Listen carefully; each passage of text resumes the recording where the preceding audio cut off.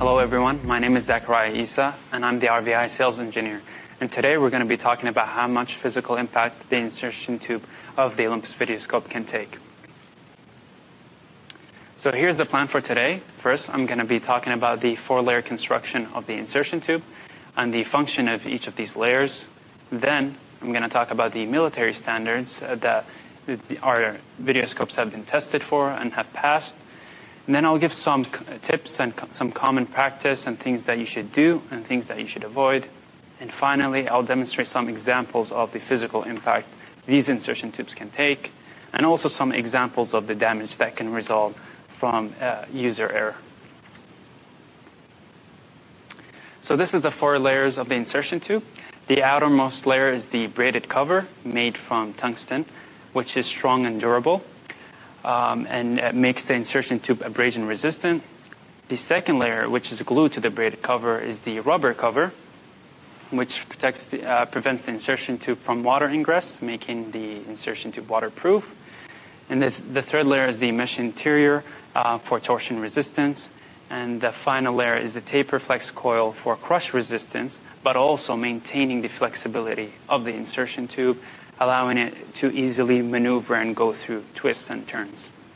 Now, one thing I want to mention is, as you can see in the diagram here, the articulation section, that's the section where the insertion tube articulates, um, it has a slightly different in the design, um, where the braided cover and the rubber cover are not glued together. And that's just mainly to maintain the articulation capability of the insertion tube. This, however, makes this section slightly more susceptible to damage, which I'll uh, talk a little bit more about when discussing common practices. So this, these are the military standards that the insertion, the videoscopes have been tested for and passed.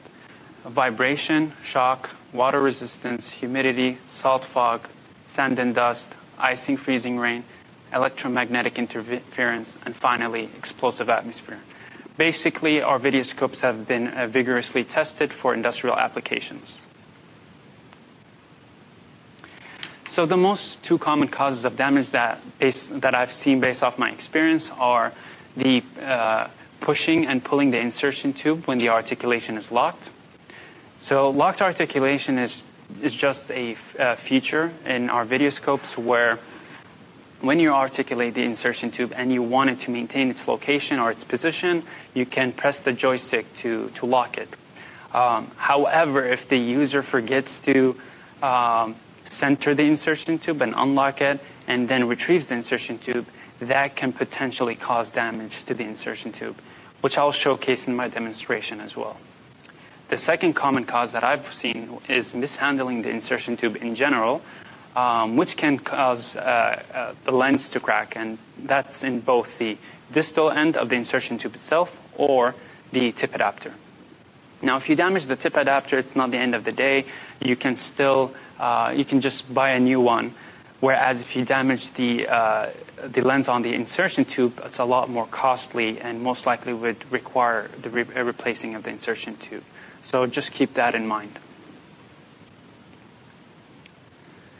So some preventative measures that you can you can take. Um, always make sure that the articulation section is centered when retrieving the insertion tube.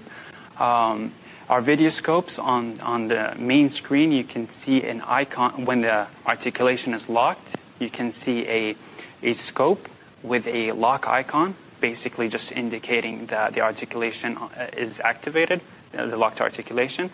Um, you can center the insertion tube by pressing the center button on the controller, and you will uh, notice the, the icon disappears. And once that happens, you're good to go and start the retrieval process. Another thing I'd like you to try is utilizing the scope stopper. These are designated locations on the videoscopes where uh, where you can put the insertion tube to make uh, to make it uh, to basically for it to hold its place and not be laying on the ground where uh, other users can come and start walking on it, for example. So it keeps the entire videoscope system, uh, I would say, more compact. Um, the final thing I want to talk about is always consider the environmental conditions and the allowable specs for our scopes. Um, these are just basically upper and lower limits um, of the optimal environments to use the video scope. So this information can be provided, uh, we can provide that information and it can also be found on the Olympus website. So now I'm going to demonstrate some uh, examples of the type of physical damage uh, these scopes can take. Let's see what happens. So first I'm going to step on this insertion tube and kind of rub my feet. And I want to see what happens. Let's see. So uh, as you can see, the insertion tube can take that, no issue whatsoever. Let's try something else. I want to try this hammer and see what happens.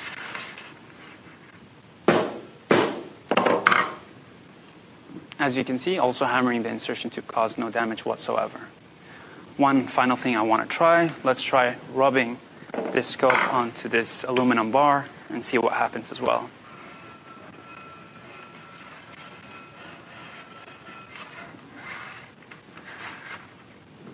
As you can see, not only is it not damaged, but I, I can actually see some aluminum residue. So it actually ended up damaging the bar itself. So that's a good thing to see.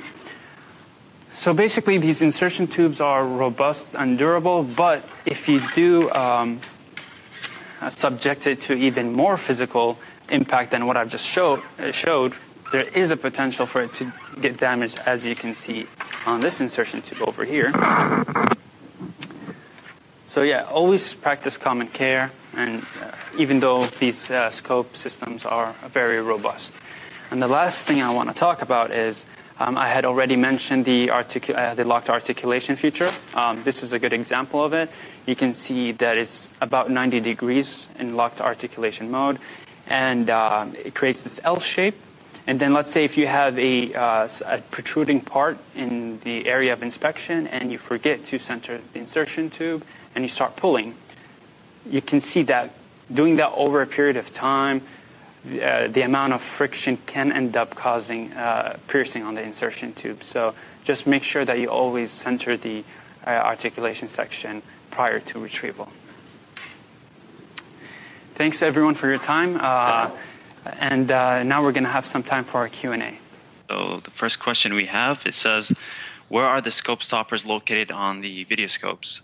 Um, for the NX, it's located on the lower left uh, lower left corner of the screen. Um, so it's basically a small hole where you can feed the insertion tube into, um, making the whole video scope system more compact. Um, on the GTGX, it's actually on the controller itself. It's right um, uh, above the joystick or the articulation uh, joystick. Um, let's see if there's another question. So we have another question here. Where can we find the operating specs on the Olympus uh, website? So the Olympus website is www.olympus-ims.com. And then you would see a tab on the upper left corner that says products. Uh, once you go there, you will select video scopes, and then you can spec specify which uh, model you want to look at. And then once you select the model, let's say the NX, for example, you will see four other tabs, and you will click on specifications, which and it will detail all the technical information that you're looking for. All right, I don't think there are any more questions. Again, thanks, uh, thanks guys for joining us. If you have any more questions uh, or inspection questions, please feel free to reach out to me or your local sales rep, um, or you can uh, go through our Olympus website at www.olympus-ims.com. Thank you and have a wonderful day.